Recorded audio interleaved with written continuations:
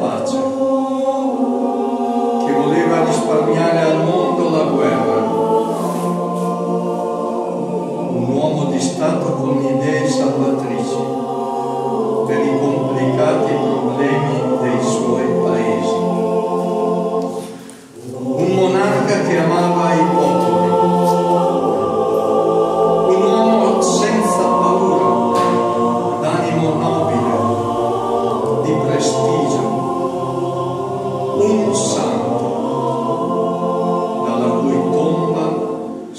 de bénédiction.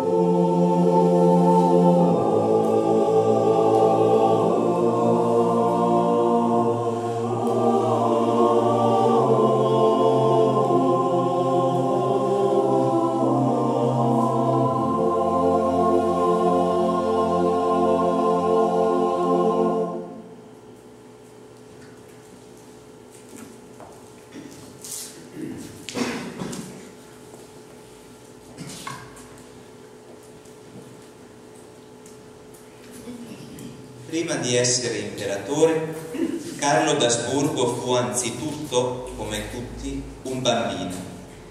Il nonno era fratello dell'imperatore Francesco Giuseppe, il papà era Ottone d'Asburgo, la mamma era Giuseppina di Sassonia.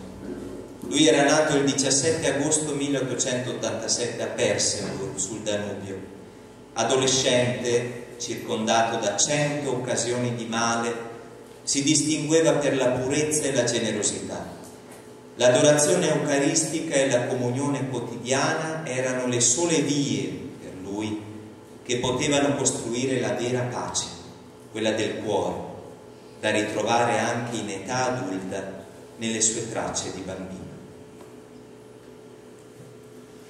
Fu Mischesi quel giorno addetta al suo guardaroba che si accorse che nell'armadio del piccolo arciduca erano rimaste solo due camicie consunte. Le altre, le più belle, Carlo le aveva regalate ad alcuni bambini che vivevano accanto al castello, orfani a causa delle guerre.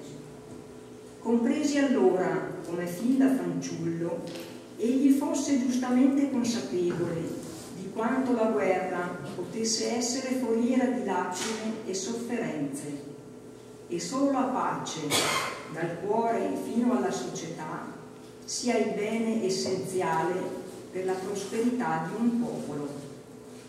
Dalle memorie di Maria Teresa, nonna di Carlo.